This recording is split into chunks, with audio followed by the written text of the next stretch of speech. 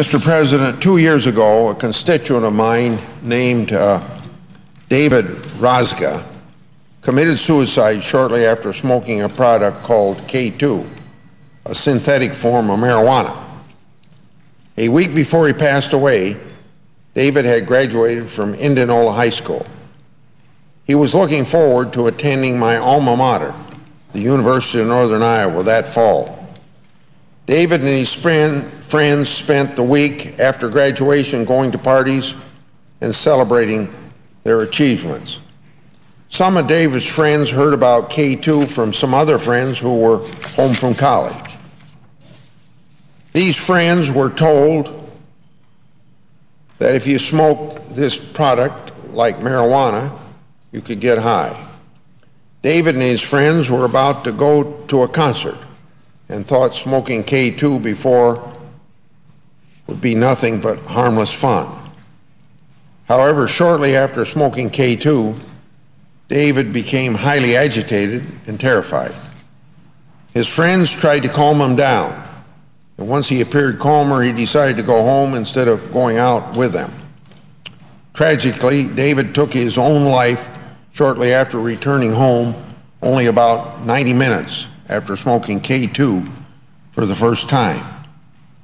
The only chemicals in his system at the time of his death were those that comprise K2.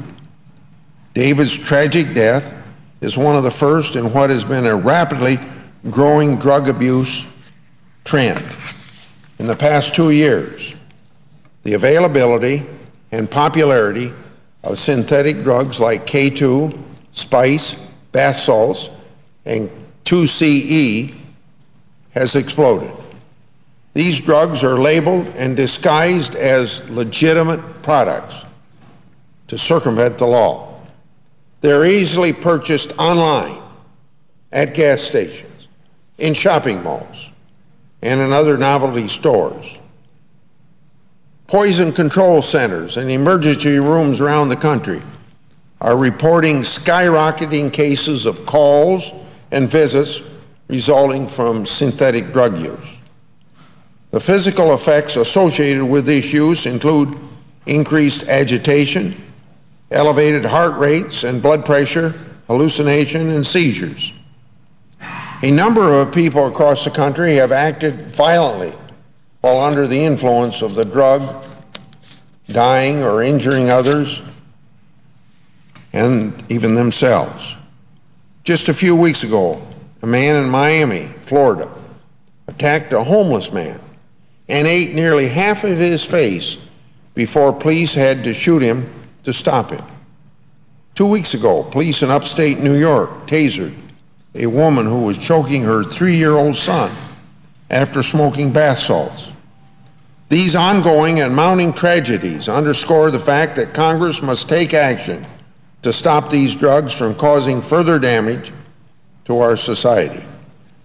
I introduced the David Mitchell Rozga Act a year ago last March to ban the drug that comprised K2.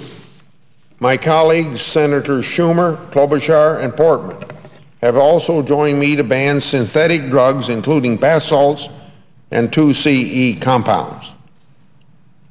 Today, our separate bills are included as part of House and Senate agreement on the FDA user fee bill we'll be voting on shortly. I want to thank all who have worked very hard to get my bill, as well as other bills banning synthetic drugs, through Congress. And I especially want to thank Mike and Jan Rozga, the parents of David, and their family for their tireless effort to prevent more tragedy from befalling families. This legislation will drastically help to remove these poisons from the store shelves and protect our young people from becoming more victims. I urge my colleagues to support cloture on this bill. I yield the floor.